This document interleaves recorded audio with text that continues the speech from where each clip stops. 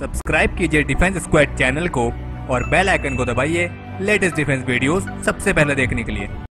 Hello friends स्वागत है आपका डिफेंस ज्ञान सीरीज़ के एक फ्रेश एपिसोड में। हमने अपने पिछले डिफेंस अपडेट में आपको बताया था कि अमेरिका चाहता है कि भारत रशिया के एस फोर सिस्टम की बजाय उनके पेट्रियोट मिसाइल डिफेंस सिस्टम को खरीदे। तो आज के एपिसोड में हम अमेरिका के पेट्रियोट मिसाइल डिफेंस सिस्टम और रशिया के एस फोर सिस्टम के बीच एक कंपैरिजन करने वाले हैं, जिसमें हम जानेंगे कि अमेरिका द्वारा पेश किया गया ये प्रस्ताव भारत के लिए फ़ायदेमंद साबित हो सकता है या नहीं।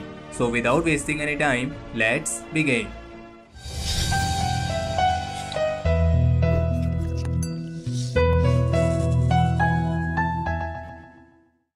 Patriot और एस फोर दोनों ही एयर डिफेंस सिस्टम हैं और अमेरिका ने एस फोर के बदले patriot P three air defence system का प्रस्ताव रखा है, जो कि पैट्रियोट मिसाइल का सबसे एडवांस वर्जन है। पैट्रियोट को यूएस कंपनी रेथियोन ने मैन्युफैक्चर किया है और इसे यूएस आर्मी की सर्विस में उन्नीस सौ बयासी में शामिल कर दिया गया था। और जबकि रशिया के एस फोर सिस्टम को Russian company Fakel design bureau ने मैन्युफैक्चर किया है और ये पैट्रियोट मिसाइल सिस्टम के मुकाबले में काफ़ी नया है।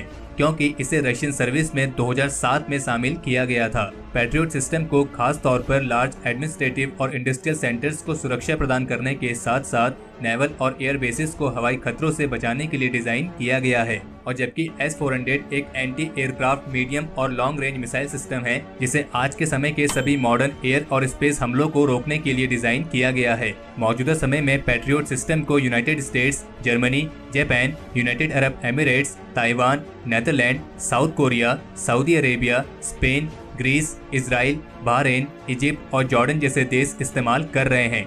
और जबकि एस फोर सिस्टम को मौजूदा समय में रशिया के अलावा केवल टर्की और चाइना ही इस्तेमाल कर रहे हैं और भविष्य में इसे सऊदी अरेबिया इंडिया और बहरीन जैसे देशों द्वारा भी इस्तेमाल किया जा सकता है। और अगर बात करें इनके स्पेसिफिकेशंस की तो इसमें S four hundred patriot system से काफ़ी ज़्यादा आगे है, क्योंकि एस फोर हंड्रेड सिस्टम को अभी कुछ ही समय पहले विकसित किया गया है। यानी इसको ऐसे समय पर विकसित किया गया है जब टेक्नोलॉजी काफ़ी ज़्यादा एडवांस हो चुकी थी और जबकि पेट्रियोट सिस्टम को 1980 के दशक में उस समय की मौजूदा टेक्नोलॉजी के हिसाब से विकसित किया गया है। हालाँकि इसमें उन्नीस से लेकर अभी तक कई सारे एडवांसमेंट किए जा चुके हैं, लेकिन अभी भी ये सिस्टम एस फोर काफ़ी पीछे है। एस फोर सिस्टम की रेंज 400 किलोमीटर तक है और जबकि पेट्रियोट पी थ्री की रेंज केवल 40 किलोमीटर तक है। एस फोर मिसाइल 17,000 किलोमीटर प्रति घंटा की रफ्तार से चलने में सक्षम है और जबकि पेट्रियोट पी थ्री सिस्टम की अधिकतम रफ्तार केवल पाँच किलोमीटर प्रति घंटा है। एस फोर सिस्टम को केवल पाँच मिनट ऐसी भी कम समय में तैनात किया जा सकता है और जबकि पेट्रियोट पी थ्री सिस्टम को तैनात किए जाने के लिए कम से कम 30 मिनट तक का समय चाहिए। एस फोर सिस्टम का रिएक्शन टाइम 10 सेकेंड है और जबकि पेट्रियोट सिस्टम का रिएक्शन टाइम 15 सेकेंड है। एस फोर नब्बे डिग्री के एंगल तक मिसाइल को लॉन्च कर सकता है और जबकि पेट्रियोट सिस्टम केवल 38 डिग्री के एंगल तक ही मिसाइल्स को लॉन्च करने में सक्षम है।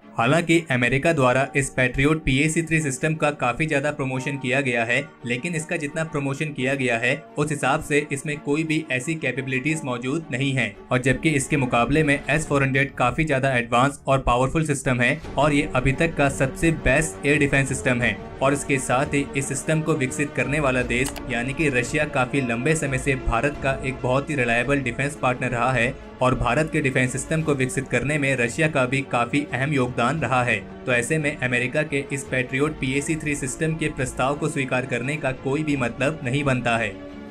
तो हमारे आज के इस एपिसोड के लिए इतना ही। अगर इस वीडियो को लेकर आपका कोई सुझाव या सजेशन हो तो उसे कमेंट सेक्शन में शेयर ज़रूर करें। और अगर आपको ये वीडियो पसंद आई हो तो इस वीडियो को लाइक करें और अपने फ्रेंड्स के साथ शेयर करें। और अगर आपने अभी तक चैनल को सब्सक्राइब नहीं किया है तो चैनल को सब्सक्राइब करना ना भूलें।